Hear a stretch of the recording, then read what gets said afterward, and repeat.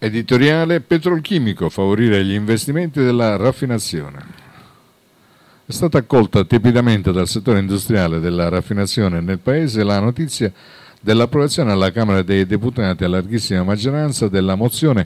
a prima firma Stefania Prestigiacomo sul rapporto tra transizione ecologica e settori produttivi con difficoltà di riconversione definendola un passo nella giusta direzione.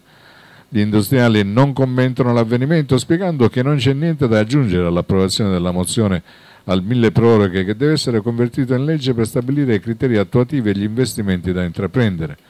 La mozione è di grande valenza per la Sicilia che vede nel suo territorio grandi poli di raffinazione che rischiano la chiusura in luogo della riconversione. Per il rilancio dell'area industriale siracusana vi è infatti il concreto rischio di disimpegno delle società multinazionali operanti nell'area del cosiddetto polo petrolchimico di Siracusa.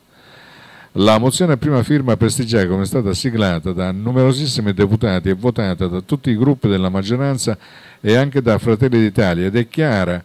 eh, concerne eh, l'impatto della transizione ecologica sul settore dell'industria pesante con particolare riferimento al settore della raffinazione petrolchimico e bioraffinazione. La stessa Unione Europea ha istituito un fondo per la transizione giusta per far fronte all'impatto sociale ed economico della transizione. Per la nostra regione, che raffina quasi la metà dei prodotti petroliferi del Paese, si tratta di assicurare la difesa dell'ambiente e degli obiettivi della transizione ecologica, ma difendendo al contempo sviluppo e occupazione. Gli industriali sono fortemente preoccupati di come accompagnare quei settori che hanno maggiori difficoltà ad abbattere le emissioni di gas e quindi un dovere e una responsabilità senza una seria programmazione di investimenti.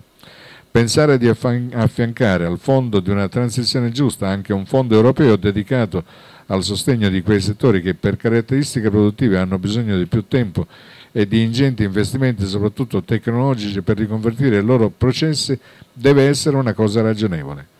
riflettori puntati al comparto della raffinazione del petrolio che spesso è dipinto da alcune forze politiche e associazioni come brutto e cattivo, però durante la pandemia ha alimentato giorno per giorno il nostro Paese.